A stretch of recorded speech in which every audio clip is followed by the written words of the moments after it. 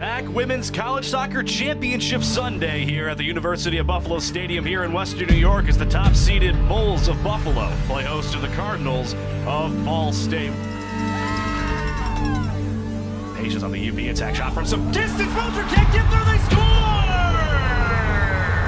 And the top-seeded Bulls have struck first. A lot of space to be had for Kaya Schultz. Teammate far side shot out by Zapata. Scores! And with that, the UB Bulls are your 2022 MAC Soccer Champions.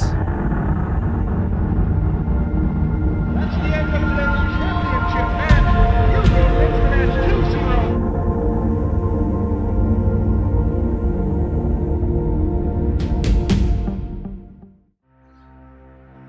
Making it there last year, we know we can do it, but we have to hold ourselves to that standard again. Like, we can't just expect to make it there. My class has been to the finals a couple times, and so I think that's always a big motivator for us at the beginning of the season. We know what that feels like, and obviously we want to be on the other side of it. So just every game, taking it one game at a time is really important. Can't think too far ahead.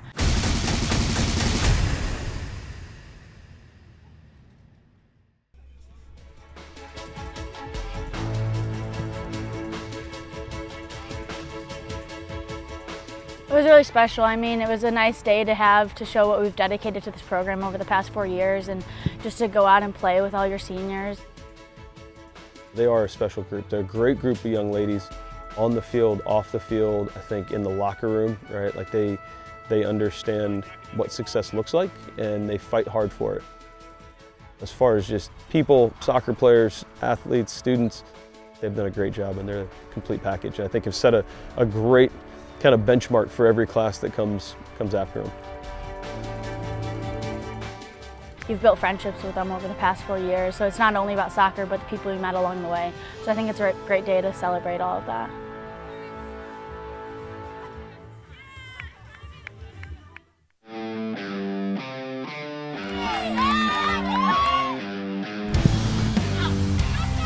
Roper gets a foot to it, loose again, and it finds the back of the net. Goal, BSU. And Ball State strikes immediately.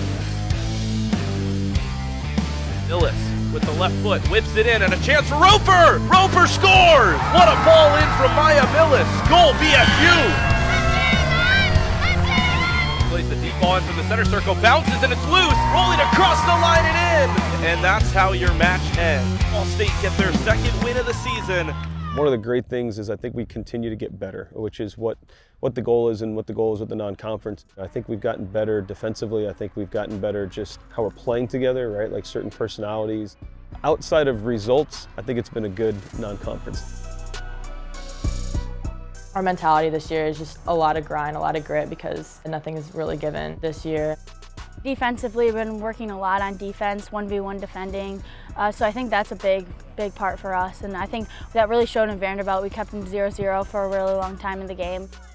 One of the biggest things I would say from you know, day one to now is, is we've started to get tougher and stingier defensively.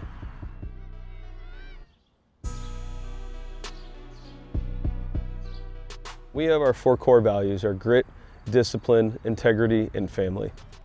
Can we display being a family on the field, right? Can teams talk about that? Can we show discipline in the way we play, right? Can coaches say, man, that's a really disciplined group that's hard to break down? Integrity means like, who are you when no one's looking? And the grit piece, right? Can we be a tough, gritty team that can handle adversity? I think those are things that we can focus on, and those, like Josh always says, those are the controllables. So even if nothing else is going well in the game, those are things that you can control. So even if you're having a bad game, the culture, like it brings together a team culture, and everyone has those same values. So just relying on that, even when things aren't going your way that day, is a really big piece for us. We have a smaller roster this year, which is a good thing, and it has brought a lot of people to step up that haven't had to fill that role so much in years past with a big roster. This year, especially with a small roster, it does make like the team feel very special. You get to know everyone very personally and you want everyone to be successful. The other freshmen are Karina Wiseman, Audrey Goodyear, and then Kaylin Vallow. It's only four of us, so it's a super tight group. Just taking the freshmen under your wing, just talking them through, helping them out in game situations, in practice, pulling them aside after practice is really important. The captains are Bethany, Jordan, and me. All three of us are tight. We all trust each other and everyone has a voice and we all work hard for each other, but I just think the three of us, uh, we make a good team. I hope we can take a chance to just kind of take a deep breath. I, I want us to mentally, physically be able to come back um, fresh going into the conference and again, hopefully be set up to go on a good run.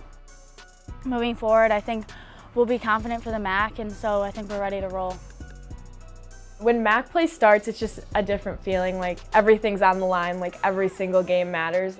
Everyone knows that, so it's definitely, the vibe changes. It's like a different feel. Everything's a lot more intense.